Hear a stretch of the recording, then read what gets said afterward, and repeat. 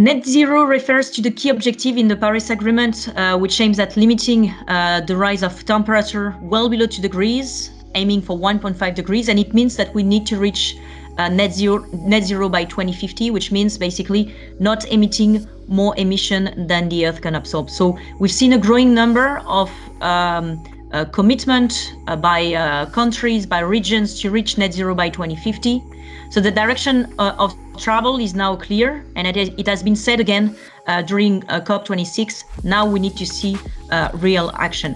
And action means setting ambitious roadmaps. Uh, it means uh, real action plan and working decisively towards the common net zero objective. It means credible standards. It means genuine transparency, and it means ambition action.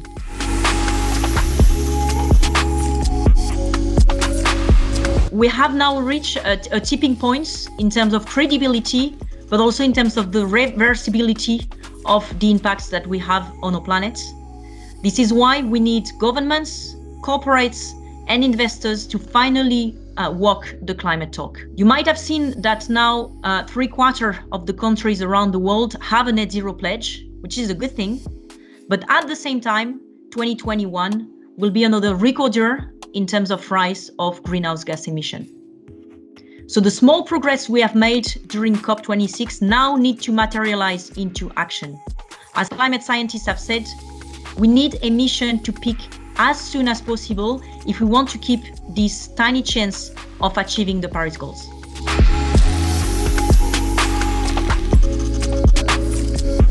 Well, we need net zero pledges to be supported by very clear climate roadmaps. It means short and mid-term objectives, and it means accurate metrics and relevant action plans. When we assess the rigor and the credibility uh, of a climate pledge, usually we look at four criteria. So the first one, uh, success is a journey, not a destination. So if we keep greenhouse gas at the current level towards 2049 and then we decrease it abruptly in 2050, uh, we would have overshooted massively our carbon budget. CO2 is not like a light that you can uh, switch on and switch off. The global warming potential of CO2 uh, stays in the atmosphere for, for decades. The second point is, um, well, in the long run, we are all mortals, which means that uh, short and mid-term objectives are much more important than the long-term ambition. So we need uh, greenhouse gas emission to peak as soon as possible and then decrease uh, progressively towards uh, net zero. The third point is uh, what is not properly measured is not properly managed, which means that we need proper carbon metrics. You know that carbon metrics can be easily tricked. And so we need uh, forward looking uh, metrics and we need uh, carbon metrics that encompass the full scope of emissions. And the fourth point is that if you change the way you look at things, things will change. It means that we need to include and integrate the carbon question into the way we make decision as a corporate, as an investor. Carbon, like risk, can be a budget that is included in capital allocation plan, in strategic planning, and we need uh, to integrate uh, this uh, factor in our investment decision as soon as possible.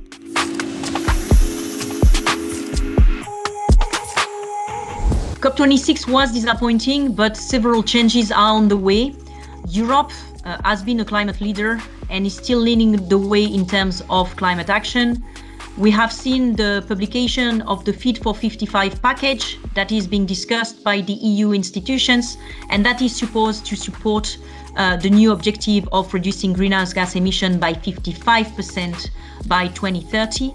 And we've already seen some uh, impactful measures such as the ban uh, of new thermal vehicle uh, by uh, 2035. Unfortunately, we've seen with the EU taxonomy, so this uh, common standards about what a green activity is uh, at European level, uh, that political interest can prevail even in the definition of common standards.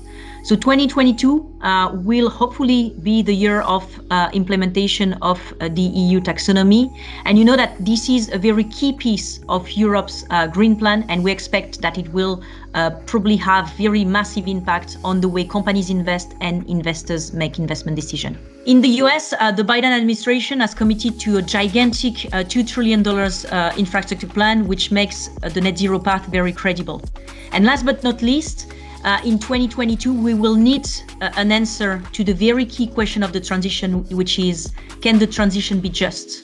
Can it contribute to reducing social inequalities? And the way we exit the current energy crisis will tell a lot about our ability as government, as investors, to integrate social justice into climate goals.